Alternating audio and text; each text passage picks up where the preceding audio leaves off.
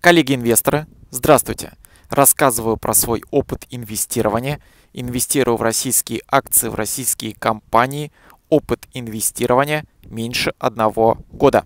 Сегодня пятница, 17 сентября. Это значит, я пополняю свой брокерский счет на 2000 рублей для совершения покупок. Как мы видим сейчас на брокерском счету 10 компаний. Это компания Аэрофлот, Газпром, Магнит, Московская биржа, МТС, Роснефть, Сбербанк, Северсталь, ФСК и компания Яндекс. Ну давайте посмотрим, как менялись показатели компании на недельном графике и будем э, совершать покупки. Начинаем с компании Аэрофлот. За неделю компания подрастает на 1%, торгуется по 66 рублей 90 копеек. Компания «Газпром» подрастает на 2,5%. Сейчас торгуется по 334 рубля 10 копеек.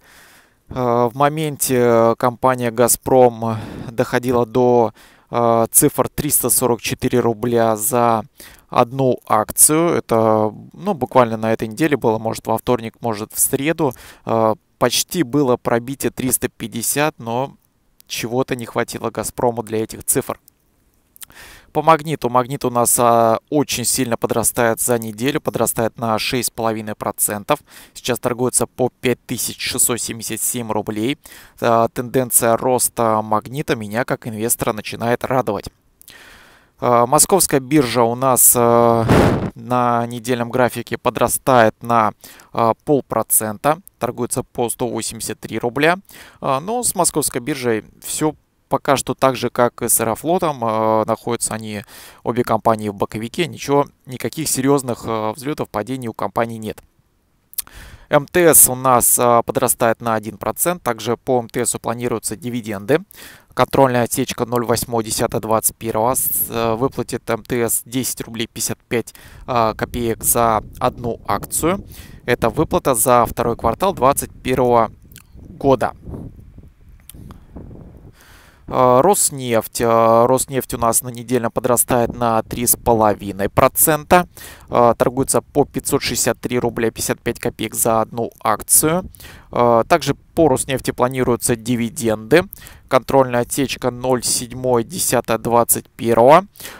Роснефть выплатит, ну, в принципе, можно сказать, такие жирные дивиденды за второй квартал 2021 года. 18 рублей 3 копейки. А, Сбербанк. А, Сбербанк у нас подрастает на 1%. Торгуется по 330 рублей 22 копейки. А, ну, как-то по Сбербанку, так же как и по московской бирже, э, как-то все в затишье, никаких э, серьезных э, взлетов нет. Я все-таки надеялся, что ну, хотя бы до конца этого года компания Сбербанка сможет пробить отметку в 350 рублей за одну акцию. Это, конечно, будут хорошие показатели. А, Роснефть на недельном у нас, не, не Роснефть, это уже Северсталь. Северсталь у нас э, за неделю снижается, снижается хорошо на 2,5%. И это такой для меня первый звоночек, чтобы э, Северсталь активно начать докупать. Торгуется сейчас по 1585 рублей 60 копеек. И как инвест-идею для покупки сегодня я Северсталь э, буду рассматривать. Ну, уж больно цена хорошая. ФСК также снижается на 1%. Тенденция снижения ФСК меня как инвестора с одной стороны радует, с одной стороны огорчает. Радует то, что можно, конечно, купить по э, хорошим ценам, но с ФСК не все так просто. И компания Яндекс. Яндекс подрастает у нас на 2%, торгуется по 5866 рублей 20 копеек за одну акцию. Э, ну, Яндекс начинает потихонечку отыгрывать позиции. Так, в фонде ликвидности у нас сейчас 1449 э, рублей 37 копеек. На брокерском счету 2000 получается. Тут 3449 рублей 37 копеек. Э, ну, я думаю, на этой неделе будем брать э, одну акцию компании Северсталь. Уж больно мне нравится вот это ее снижение. Снижается она очень хорошо.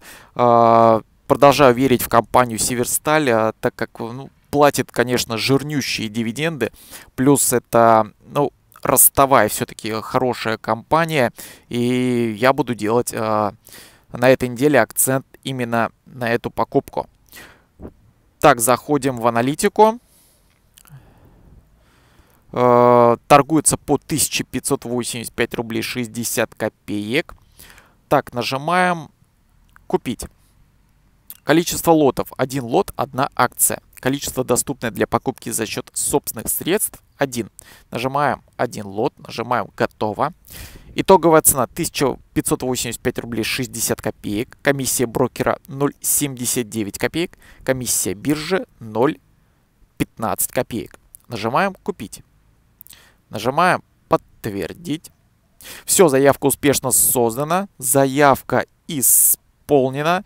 Компания Северсталь в количестве одной акции добавлена в мой инвестиционный портфель. Теперь у меня в портфеле 4 акции компании Северсталь. Ну, я активно э, начинаю э, наращивать э, долю Северстали в своем инвестиционном портфеле, дабы я думаю, что моя стратегия на долгосрочное инвестирование с Северсталью покажет очень хорошие результаты. Так, оставшийся рубль 413 рублей 61 копейка мы сейчас с вами закинем в фонд ликвидности.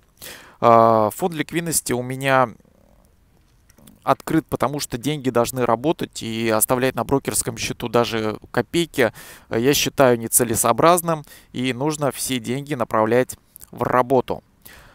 Так, количество лотов 1 лот 1 акция, количество доступно для покупки за счет собственных средств 384, но мы с запасом возьмем 385, чтобы на счете не осталось ни копейки. Итого у нас получится 414 рублей 26 копеек. Комиссия брокера 0, комиссия биржи 0. Ну, нажимаем «Купить».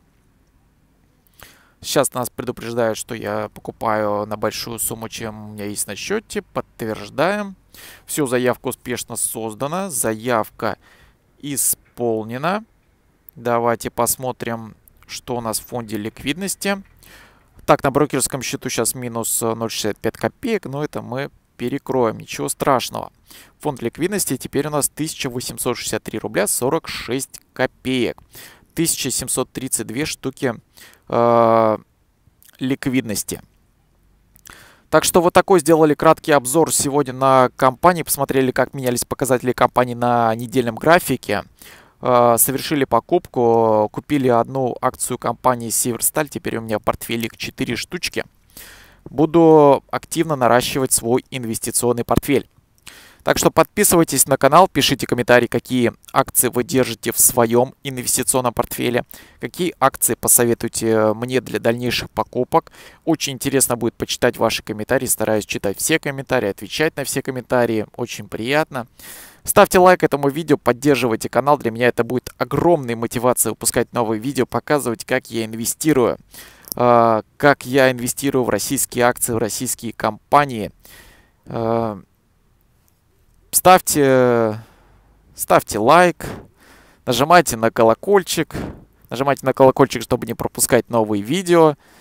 Всем счастливо, всем пока!